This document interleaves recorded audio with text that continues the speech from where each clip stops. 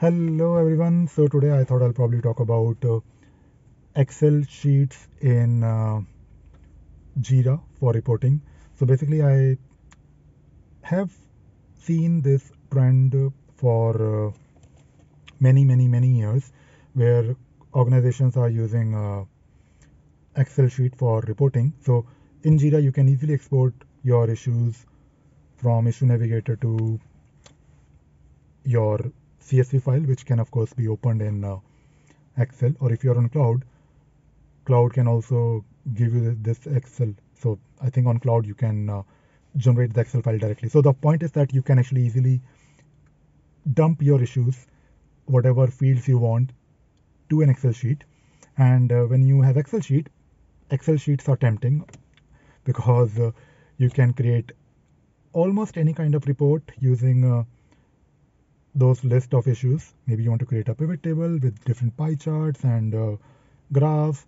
And uh, because then when you have your Excel sheet, you can uh, manipulate it, you can change it. So you can do a lot of things with Excel sheet. Now, now the problem is that Excel sheets are not connected to Jira, although you can write a macro to connect it back. Even if you write a macro to create one report or sheet where you can do things uh, like by clicking a button, you can import everything from your uh, Jira instance to Excel sheet. Uh, even then, it is a standalone uh, product. Product. I mean, not a product, but a standalone piece of sheet. I mean, I know that you know you can have uh, Microsoft 360 or Teams where you can have this sheet um, sh- stored centrally, but that is not how usually Teams work because when you have Excel sheet, people want to download it on their local computer, and that is the problem. When you when you start downloading those files on your local computer, you will have multiple versions of those sheets. And uh, when when people use uh, Excel sheets for planning the work or uh, maybe for creating reports, they have uh, maybe 10 different versions of the same sheet and things are not really stored in Jira, then uh, someone will probably tell you that, oh, so there is a change in this report, or maybe there is a change in the plan. So let us do it first in Excel, and we'll probably circulate this Excel sheet. We'll send it to 50 people, and then someone will uh, go back to Jira and update it. So it's it's a waste of time. It's a waste of uh, your resources, and you should try to do everything within Jira directly as much as you can. So talking about reporting, try to use the native reports in Jira. They are not bad to be honest, although you can't really do each and everything with it, but they are still good uh, because they will show you this information which is almost real time. It, I mean, it is real time when you're looking at uh, your dashboard. But at the same time, if you're looking for that customized view where you want to display maybe the data based on uh, some groups, maybe you want to recreate your Gantt chart, or maybe you want to recreate your advanced roadmap hierarchy, you can still do those things if you're using an app like uh, eazyBI. I mean, uh, it depends what exactly you're trying to do, but if you are if you have uh, structure or big picture or eazyBI, you can actually.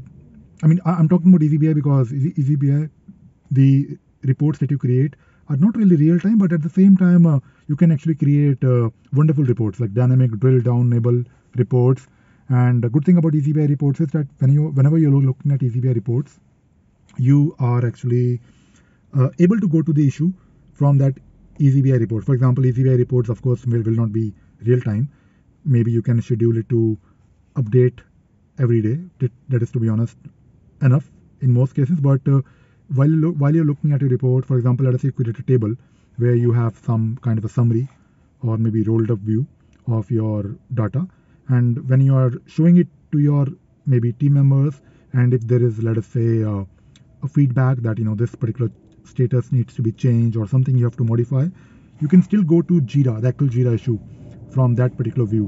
So you can actually right click on it if it is if it is one issue and then you can select go to source. At the same time if you're looking at a pie chart you can uh, see the portion of the pie chart and then you can click on it and then you can uh, uh, drill down further based on other fields. Like uh, if you're talking about 70% of the issues are open you can click on that particular pie chart 70% and then you can uh, drill drill it down further by issue type or assignee or status.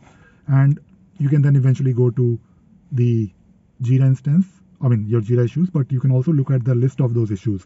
So eazyBI, in my opinion, is a wonderful app, one of my favorite, uh, of course, after uh, Script. But uh, the thing is, try not to use Excel sheets. I know it is tempting.